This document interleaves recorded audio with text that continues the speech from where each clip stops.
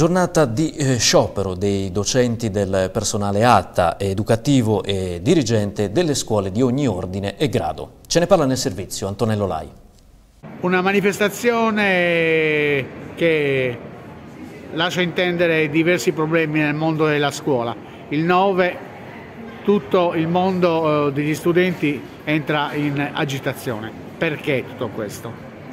Allora, lo sciopero di oggi è in coincidenza con una prova invalsi nella scuola primaria e noi siamo stati sempre, da sempre contrari all'istituzione degli invalsi che si è rivelato un blef, partito come eh, sistema di rilevazione nazionale per migliorare la scuola pubblica, in realtà ha semplicemente fotografato le differenze che ci sono tra le diverse scuole delle diverse aree del paese, lasciando la situazione intatta.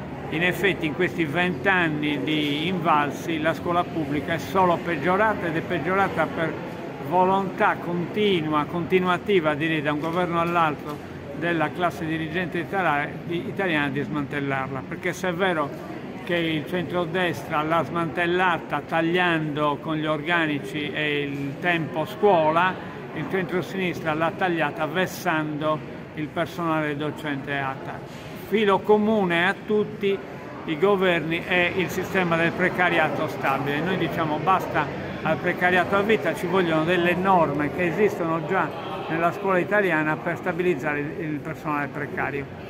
La militarizzazione della scuola segue alla nuova politica bellicistica degli Stati europei che è una follia